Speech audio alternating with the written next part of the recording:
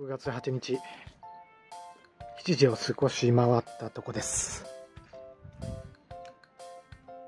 ウォーキングから帰ってきたみたいです。靴が今日は違いますね。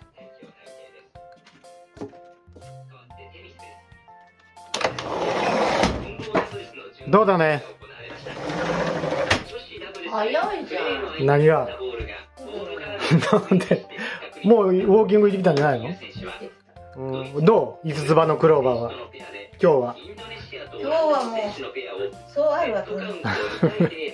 あ、口はかめた。これもらっ何それ？ビワじゃん。ああビワか。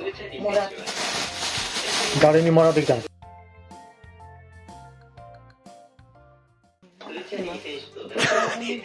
喉乾いて何？牛乳飲むの、うん。水じゃなくて。うこれ水分補給になんの？ん。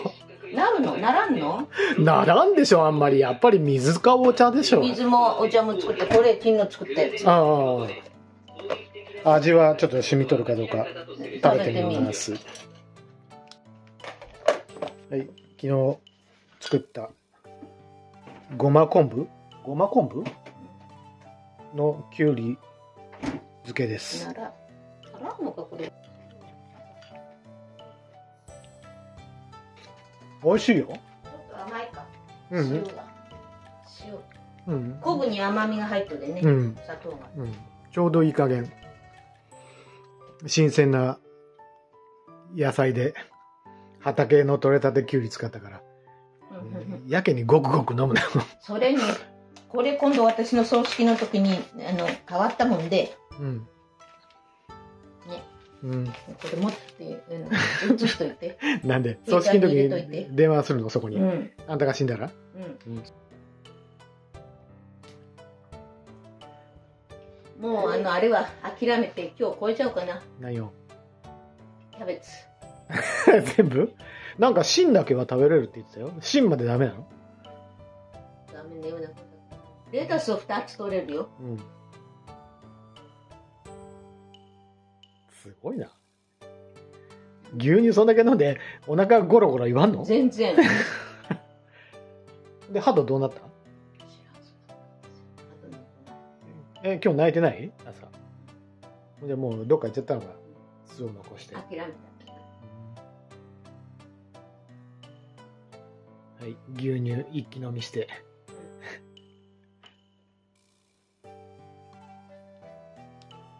もう鳩はどっか行ってしまったようですね。今日も巣は空っぽです。はいということでキャベツ全滅って言ってましたのでちょっと現状を見に行きたいと思います。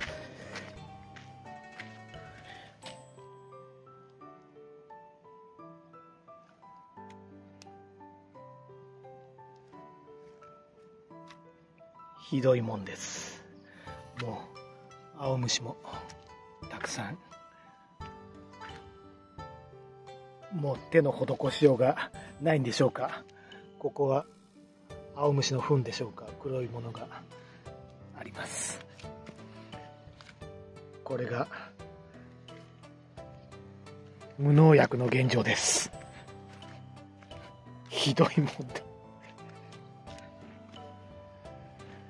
だけどレタスは何ともない。んですね不思議です。人参の花。